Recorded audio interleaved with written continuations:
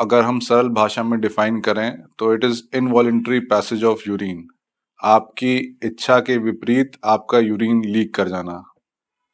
ये आपकी यूरिन की करने की क्षमता आपके मानसिक कंट्रोल के अंडर रहती है। जब आपको यूरिन ठीक से लगता है, तब आप बाथरूम जाते हैं, लेकिन कुछ पेशेंट्स में, कुछ मरीजों में ये क्षमता कम हो जाती है, उसके कारण कई सारे हैं।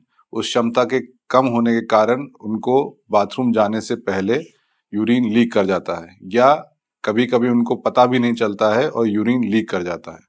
तो ये एक बेसिक डेफिनेशन है यूरिनरी इनकॉन्टिनेंस की।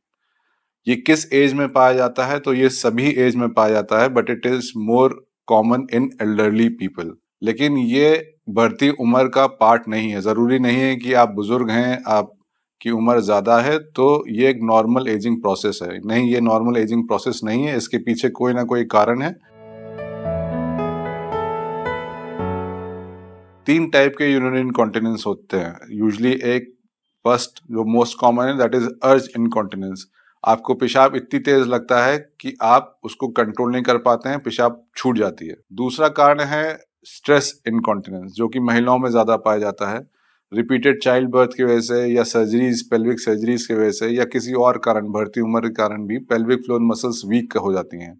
उसमें क्या होता है कि जब आप महिलाएँ खांसती, छींकती या उठ के एकदम से बैठेंगी तो थोड़ा बहुत यूरिन लीक कर जाता है।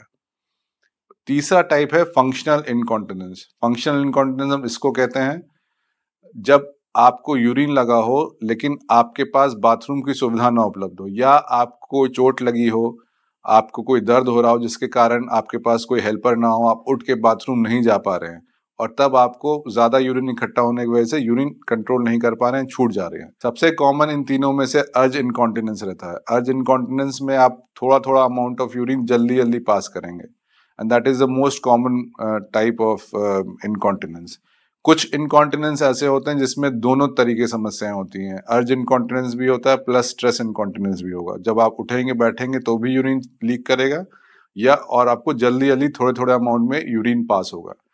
तो इन सब चीज़ों को हमको सबसे पहले असेस करना है कि आपका मेन कारण क्या है इनकॉन्टिनेंस का।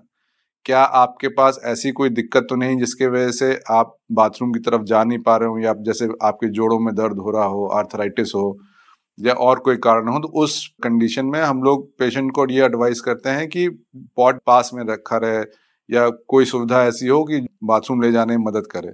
तो ये तो एक इजी मेथड है जिसको हम लोग ट्रीट कर सकते हैं। दूसरा है अर्ज़ इनकॉन्टिनेंस और स्ट्रेस इनकॉन्टिनेंस इसमें हमको पेशेंट की हिस्ट्री से उसकी तकलीफ़ का पता करना पड़ता है कि उसको एक्चुअली अर्ज़ इनकॉन्टिनेंस है या स्ट्रेस इनकॉन्टिनेंस स्ट्रेस इनकॉन्टिनेंस से कुछ टेस्ट आते हैं।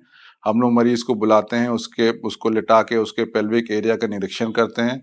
उसको बैठा के, उसको खास के, छिकवा के, उसका यूरिन लीकेज का टेस्ट करते हैं। अर्ज़ इनकॉन्टिनेंस में यूजली पेशेंट खुद ही हिस्ट्री देता है कि उसको पेशाब थोड़ी थोड़ी देर में भागना पड़ता है यूरिन तो basically it is ruled out by the history of the patient इसको बाकी और हम लोग इसके और क्या कारण है, उसके लिए हम अल्ट्रासाउंड करा सकते हैं कि किडनी या ब्लैडर में ऐसी कोई प्रॉब्लम ना हो।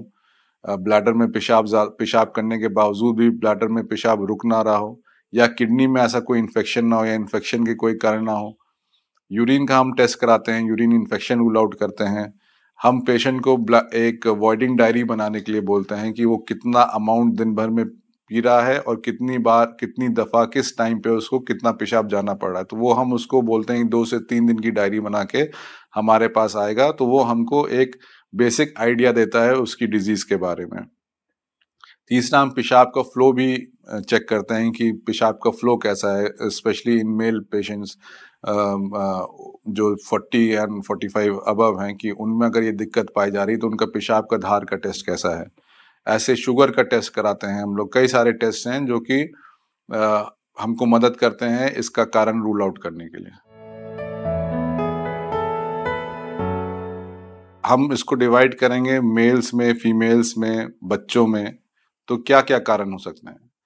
ये यूनरी इनकॉन्टिनेंस की प्रॉब्लम नॉर्मल कम्युनिटी में काफ़ी कॉमन है। करीब 15 से 20 परसेंट महिलाएँ जो कि उम्र दराज हैं, उनमें थोड़ी बहुत ये प्रॉब्लम पाई जाती है। उस प्रॉब्लम की सेवियरिटी कम ज़्यादा हो सकती है। इसी तरह उम्र दराज मेल्स में ये करीब सात से आठ परसेंट का परसेंटेज पाया गया नॉर्मल जनता में। बच्चों में इसके कई कारण होते हैं, कम होते हैं, लेकिन बच्चों में जब एक बार वो अपनी पेशाब का कंट्रोल पा लेते हैं अमूमन चार से पाँच साल की उम्र के बाद। उसके बाद भी अगर उनको यूनरी इनकॉन्टिनेंस रह रहा है तो उसके कई एनाटोमिकल कारण होते हैं और कई और बीमारियों के कारण होते हैं। सबसे ज़्यादा कॉमन ये है ग्रोइंग फीमेल्स में। जो बड़ी उम्र की फीमेल्स होती हैं, उनमें ये प्रॉब्लम ज़्यादा अधिकतर पाई गई है। इसके कारण क्या है कि जो नॉर्मल प्रेगनेंसी होती है फीमेल्स में, और स्पेशली वो जिनकी नॉर्मल डिलीवरी होती है डिलीवरी के कारण कई बच्चों होने के बाद आपकी जो पेल्विक फ्लोर मसल्स हैं, जो कि यूरिन को कंट्रोल करने में आपकी मदद करते हैं, वो वीक हो जाती हैं due to repeated child birth दूसरा है कि उम्र के साथ ईस्ट्रोजन प्रोजेस्ट्रोन की कमी होती है, जो कि पेल्विक फ्लोर्स और उसकी म्यूकोजा को स्ट्रांग रखने में मदद करते हैं। धीरे धीरे उम्र के साथ वो हार्मोन्स कम हो जाते हैं तो वो भी एक कारण है पेल्विक फ्लोर वीकनेस का या एट्रोफिक वजनाइटिस का।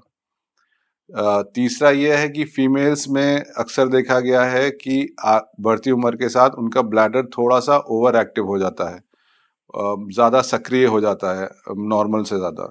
तो ये तीन मेन कारण हैं जिनके कारण फीमेल्स में ये दिक्कत ज़्यादा पाई गई है।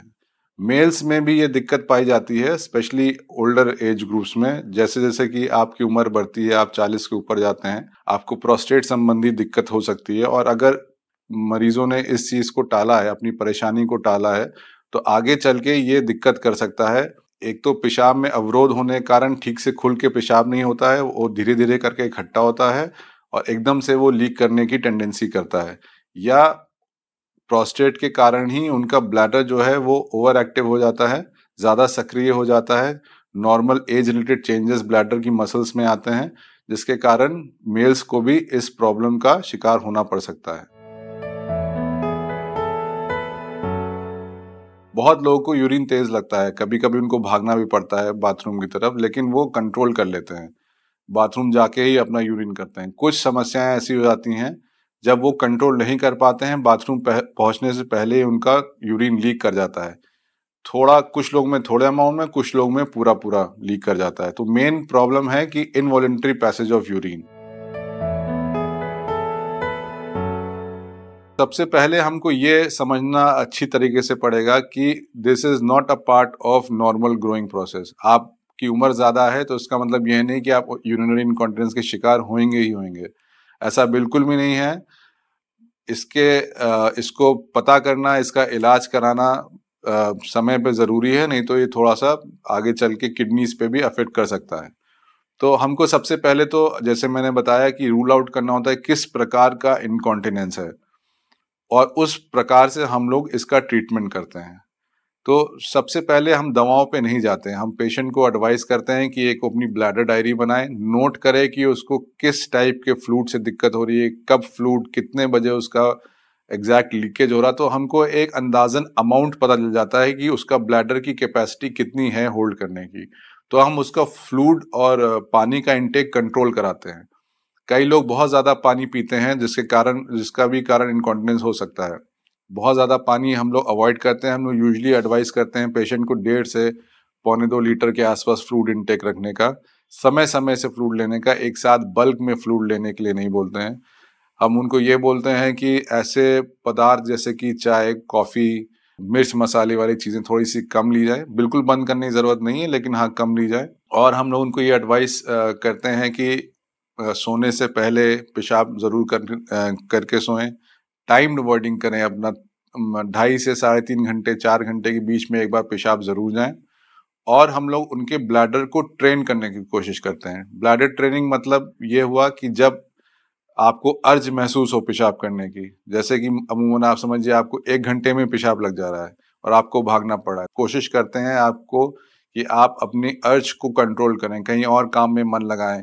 एक के ऊपर पैर रख के बैठ जाएँ। किसी तरीके से अपनी पेल्विक फ्लोर्स को दबाएँ। धीरे धीरे करके आपको हम कोशिश करते हैं कि आपका यूरिन 10-10 मिनट करके आगे बढ़ता जाए। पहले हम आपसे बोलेंगे 10 मिनट आप यूरिन कंट्रोल करिए। एक हफ़्ता 10 दिन बाद हम बोलेंगे, आप 15 मिनट 20 मिनट अपना कंट्रोल करिए। ऐसे करते करते हमारा लक्ष्य रहता है कि ढाई घंटे, तीन घंटे का अंतराल आपके यूरिन अर्जेंसी में बना रहे। आपको तीन घंटे, ढाई घंटे के बीच में यूरिन ना जाना पड़े। कई सारे लोगों में इन्हीं मेजर्स के थ्रू कंट्रोल हो जाता है। और अगर कंट्रोल नहीं हो रहा है तो उसके और भी फिर तरीके होते हैं कंट्रोल करने के लिए। एक बायो फीडबैक मैकेनिज्म्स होते हैं, कुछ इलेक्ट्रॉनिक डिवाइसेस होती हैं। जैसे ही आपका यूरिन स्टार्ट होगा लीक करना, वो आपको सेंसर के ज़रिए आवाज़ करेगा, बताएगा कि हाँ यूरिन लीक हो रहा है। तो आप उस समय अपने पेल्विक फ्लोर मसल्स को कंट्रैक्ट करते हैं। तो एक बायो फीडबैक मैकेनिज्म बनता है, जिससे आपको ब्लैडर ट्रेनिंग में आपकी मदद बनती है। तीसरा, हम लोग आपको ये रेगुलर ब्लैडर ट्रेनिंग एक्सरसाइजेस बताते हैं। अब कीगल्स एक्सरसाइजेस बोलते हैं इसको, जो कि आपको दिन में तीन से चार बार दस दस के सेट में करना होता है।